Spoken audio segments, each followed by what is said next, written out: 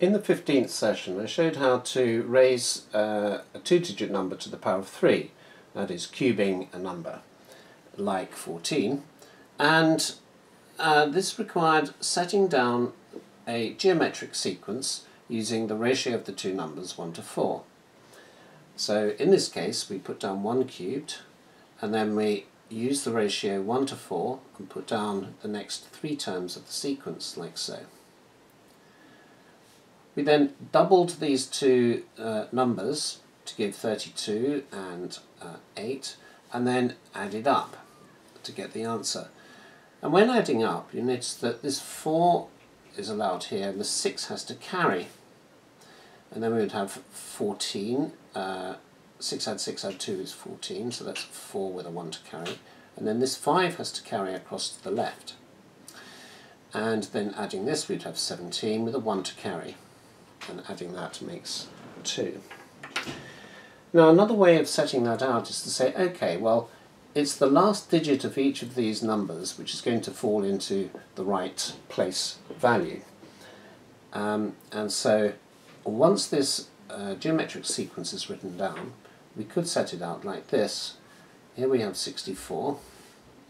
And then in this column, in the tens column, we need three lots of 16, which is 48. And in the next column here, we need three lots of 4, which is 12. And in the final column here, we have a 1. And then we can add these digits up to give 4, 14, 6, 7, and 2. And it's that setting out which I'm going to use to show how to raise uh, a number, a two-digit number to a higher power. And of course it uses the binomial coefficients. The binomial coefficients for cubes are 1, 3, 3, 1 and 4 to the power of 4, 1, 4, 6, 4, 1 to the power of 5, 1, 5, 10, 10, 5, 1. So let's have a look at 23 to the power of 4.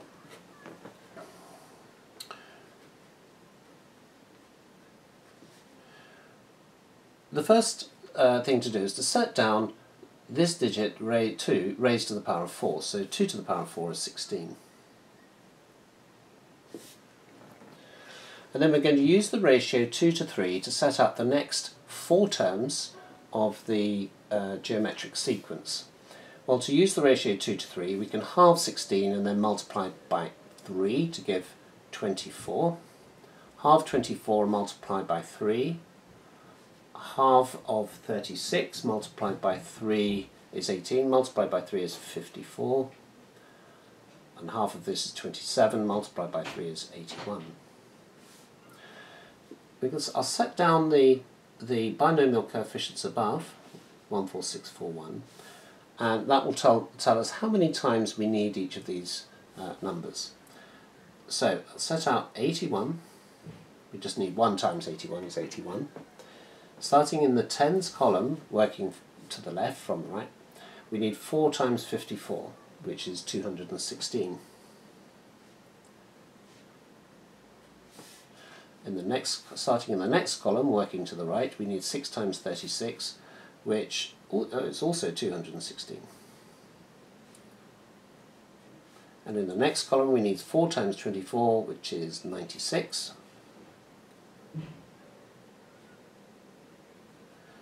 And in the next column we need 1 times 16. And then we can just add up 1. 8 add 6 is 14. That makes 8. This is 9. 15, 17, and 2. So that's 23 to the power of 4. In the next example, I'll show 20, uh, 26 to the power of 4. Again, we put down uh, 2 to the power of 4 is 16.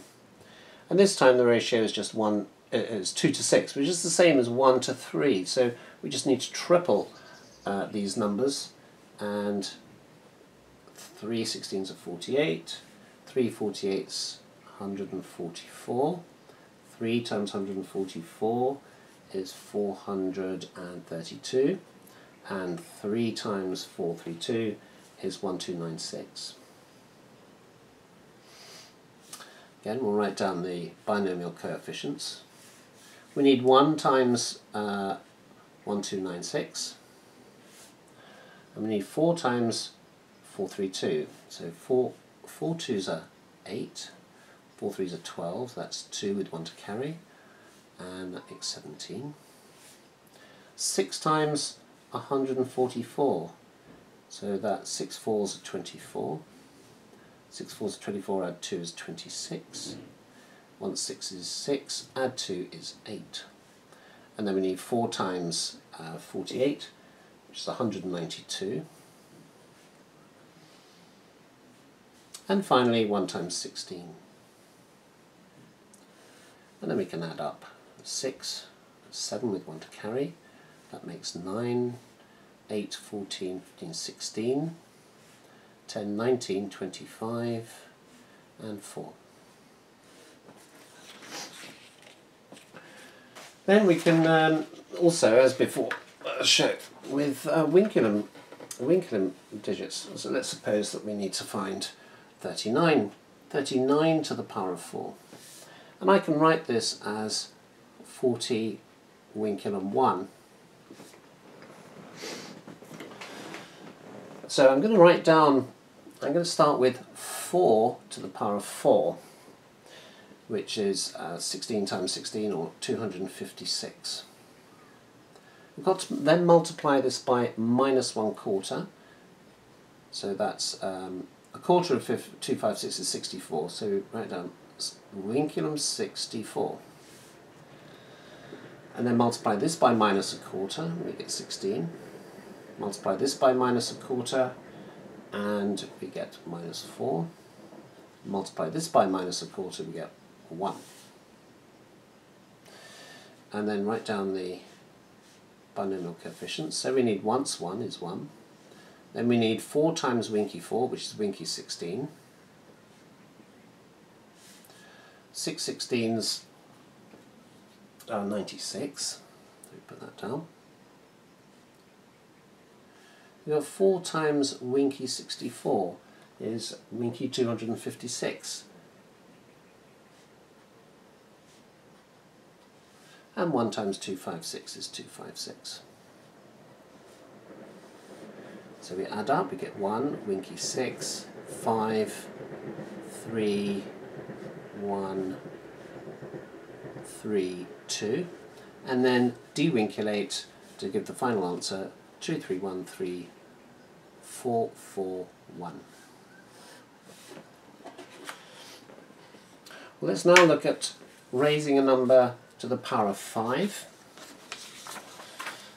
And some of the arithmetic can be a little bit tricky, and you wonder why. Well, why, why bother with this? Because you can just get it on your get the answer on your calculator easily enough.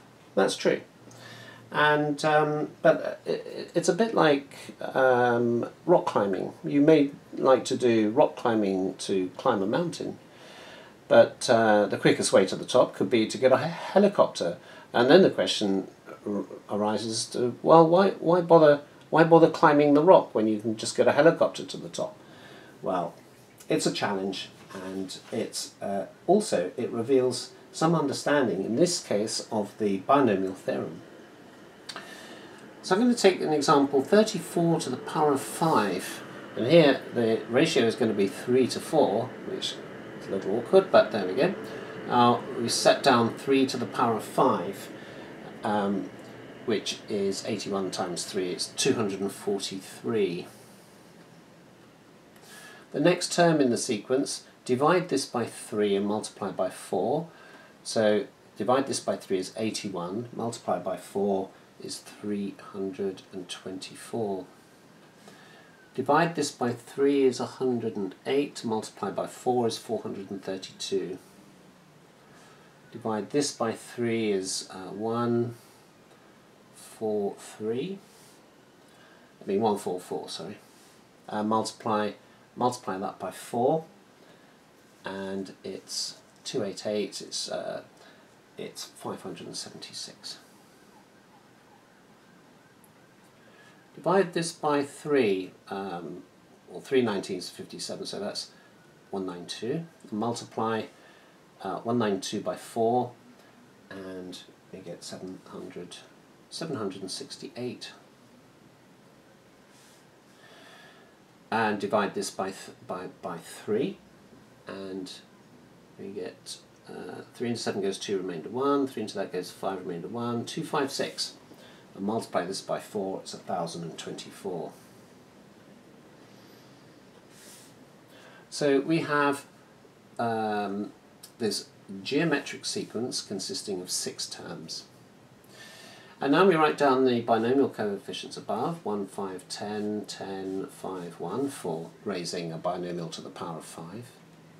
And so we need 1 times 1024, so it's 1, 0, 2, 4. Uh, we then need 5 times 768. The easiest way to multiply a number by 5 is to halve it and then multiply by 10. So it's uh, 3840. 3840.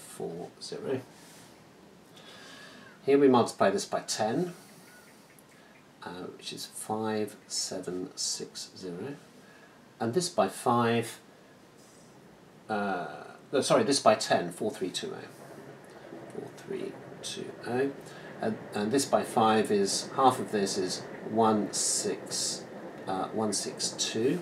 So it's 1, 2, 6, uh, 1, 1620, sorry, 1620. And finally, uh, 2, 243. And then we can add up uh, add up for the answer. So we get 4, and then 2, and then 4, and then 15, and 10, 13, and then 8, 10, 14, and uh, 10 and 15, and 4. And that's 34 to the power of 5. And this method can be applied uh, to any two-digit number um, raised to any power of course the arithmetic can be uh, really quite uh, onerous, but um, you can have a go at uh, have a go at it if you like.